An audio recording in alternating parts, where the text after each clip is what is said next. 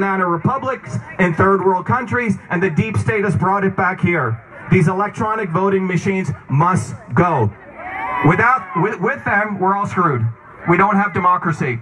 And that's what the real crime scene is. Yes, you can talk about mail-in ballots. Yes, you can talk about voter suppression. But the real crime scene is the computer algorithms. That's what it is all about. So we need to all wake up and we need to start building our own movement, bottoms up for truth, freedom, and health. Truth, freedom, and health. Truth, freedom, and health. Truth, freedom, and health. Truth, freedom, and health. Truth, freedom, and health. Truth, freedom, and health. Truth, freedom, and health. Truth, freedom, and health. Truth, freedom, and health. Truth, freedom, and health. Thank you, everyone. Let's go win. We have just unleashed a revolution. Let's move it forward. Thank you.